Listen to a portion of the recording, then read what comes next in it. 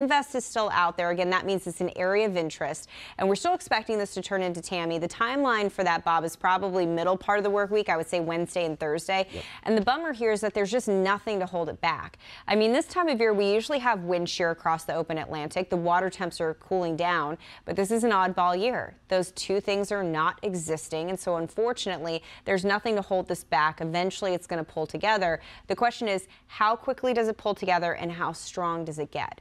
The stronger the system, the more it will hook up to the north and maybe miss the Caribbean islands. But if it takes a long time to get its act together and it stays weak, by the time we get to the weekend, the Caribbean islands could be at threat. And right now, a lot of our computer models are suggesting that story. So it's something that we have to look out for. There's the ingredients.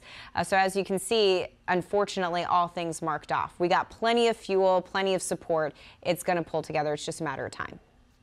70% though. It was 90% over the weekend, so uh, a little bit less, but I mean, that's a grain of salt because you can see where it's headed, like Britta just said. Warm waters, low shear, humidity is out there. The only thing we're hoping for, believe it or not, is for this thing to form quicker than later.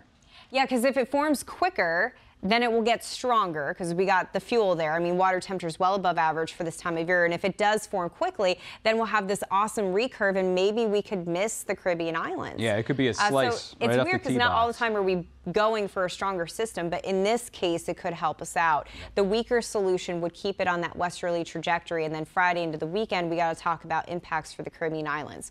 So if you have travel plans this weekend in the Caribbean, you have to watch this very closely. I'm Amy Freeze. Welcome to Fox Weather's YouTube page. We have more great videos on the way, so make sure to subscribe to stay updated on all things weather.